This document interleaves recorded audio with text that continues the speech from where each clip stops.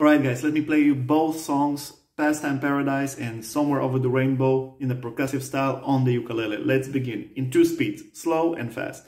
Let's begin with the slow version of Pastime Paradise.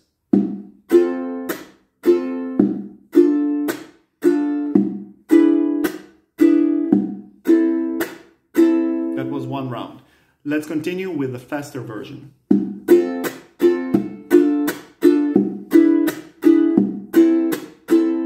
Etc. Somewhere over the rainbow. Fast version.